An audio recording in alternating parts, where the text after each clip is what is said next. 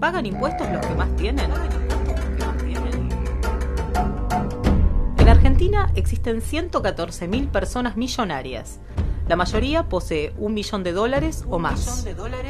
Unos mil millonarios tienen al menos 30 millones. Y solo 7 multimillonarios atesoran fortunas mayores a los mil millones de dólares. En Latinoamérica es sabido que cada millonario posee, en promedio, unos 15 millones de dólares. Es decir, que los 114 mil millonarios argentinos tienen un total de 1,7 billones de dólares.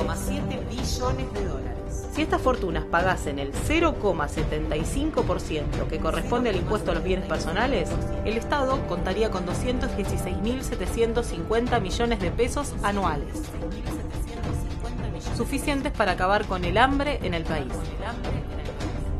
¿Cuántas escuelas podrían sostenerse con este dinero?